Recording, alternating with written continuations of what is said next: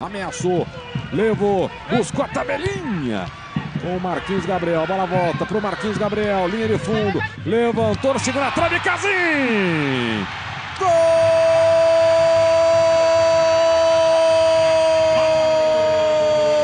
do Corinthians! O primeiro de Casim com a camisa do Corinthians. Na estreia, Jogada do Marquinhos Gabriel. Levantou, tava lá, centroavante. Para mandar de cabeça. Profundo do gol.